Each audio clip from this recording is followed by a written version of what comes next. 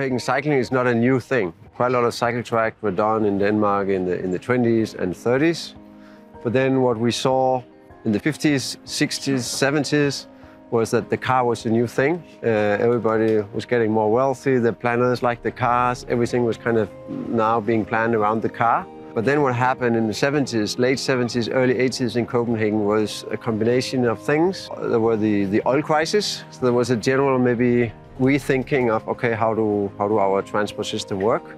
And there was also resistance within the city of Copenhagen from the citizens saying, hey, don't let the cars squeeze out all the bikes, uh, don't let the cars take over all the streets.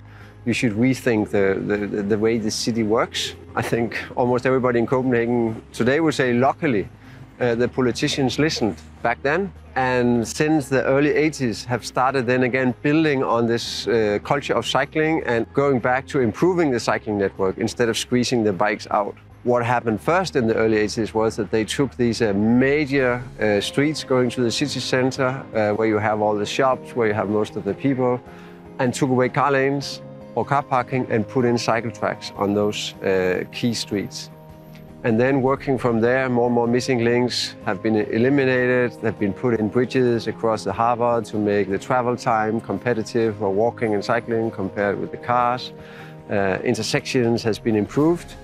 And today you have a good quality for cycling. It feels safe, it is safe. These years, the focus is very much on, on keep improving the quality and maybe also, especially actually on parts of the system that are very busy, many, many people cycling, to think about how can we make alternative routes, uh, make wider cycle tracks, so it's also a, it's a little bit uh, less um, busy or intimidating if you're not used to go on a bike or if you're a kid and so on.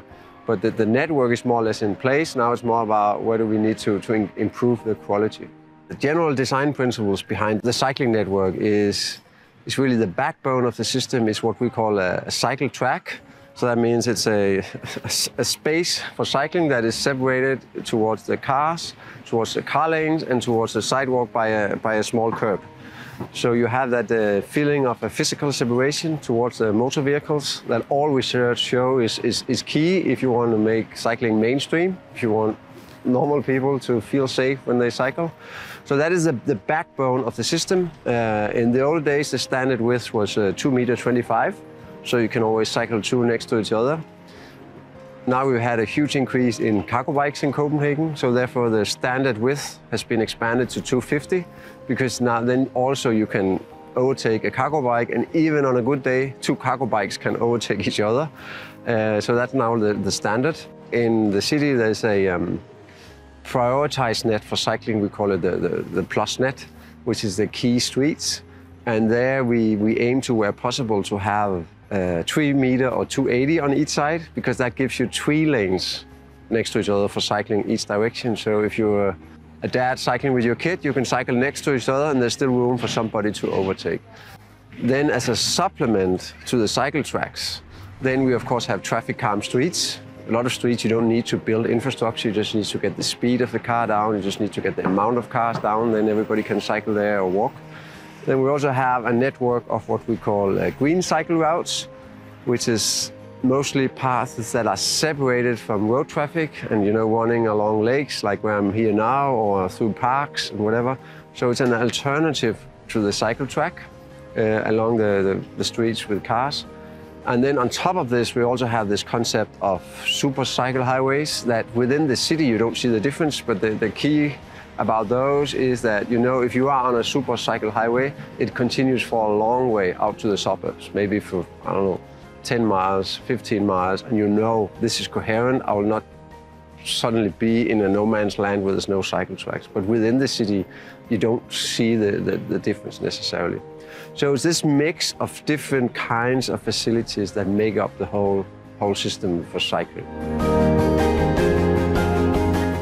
We, we have a lot of development going on in, in the greater Copenhagen region. But the most part, if we look 10, 15 years back, has happened in the old harbor areas, uh, quite close to the center of, of Copenhagen.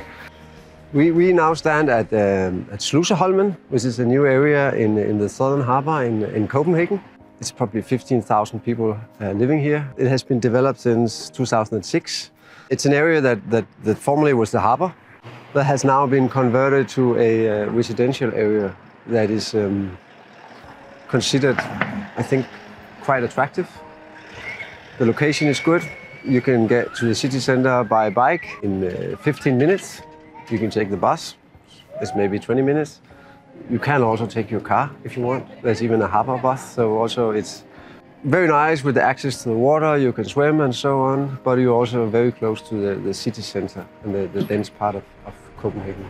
Regarding cycling, you could say Sluseholm is a standard new development in Copenhagen, which means you put in uh, cycle tracks, this separated space for cycling from the very beginning. That's the standard solution in Copenhagen. So you know when you move in such a place, there will be, yeah, there will be cycle tracks. You'll be able to cycle on the cycle tracks to wherever you go in the city from here. Uh, there's bike parking uh, in most yards. Uh, here you have both bike parking on the surface and then you also have bike parking in, in, the, in the basement kind of thing. If you have more expensive bikes or during the winter, so you have these options for parking your bike. Those people selling the apartments put up big posters, whatever, they often write, you know, 15 minutes by bike to the city center. So it's, I mean, it, it's, it's very, very normal. It's, everybody can take the bike, takes the bike sometimes, so it's just an integrated part of the development, but in a way also a so normal part, so you don't think so much about it. It's everybody would expect to have good cycling facilities when you when they move into such an area. This area also have, of course, cars, and uh, it actually is an area that's quite well connected to the highway. If you go this way, you get quite easily to the highway. Uh, there's also obviously uh, car parking here. But what is key in these new uh, areas is that you actually you kind of you unbundle the car parking from the rent and now the trend in Copenhagen is you don't do underground car parking uh, below apartments uh, anymore. You do car parking in centralized structures where you pool car parking together, because then you force people to do that little walk if they want to use their car. Plus, it's very hard just now to imagine what about the, the automated vehicles, uh, the car sharing, the, the, the Uber, whatever how much car parking will we need in the future. And if you do these um, centralized but, but separate structures for car parking, it's also much more flexible. You can reconvert and you haven't put all this money into very, very expensive uh, garages below the developments.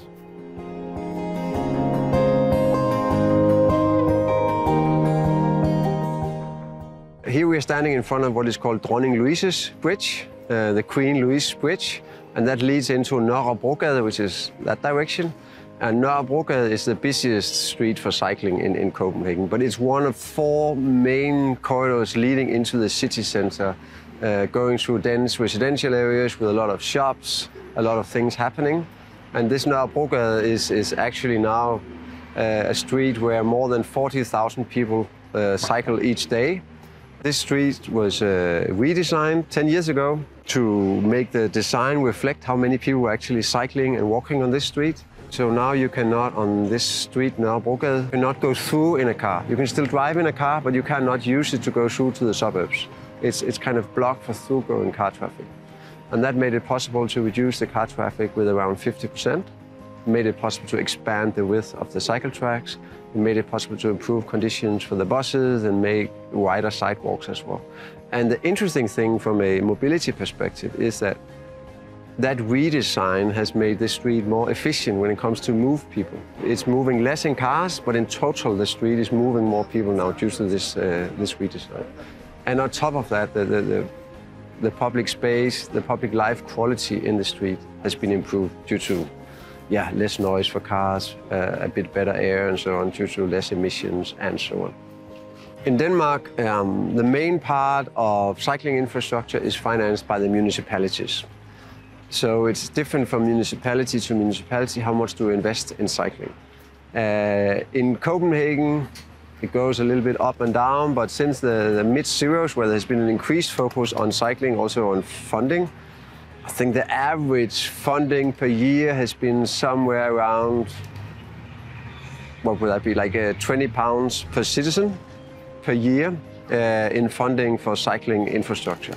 But you can always discuss if a new bridge is done, both for cycling and walking, if a whole street is redesigned, how much is, is, is for cycling specifically.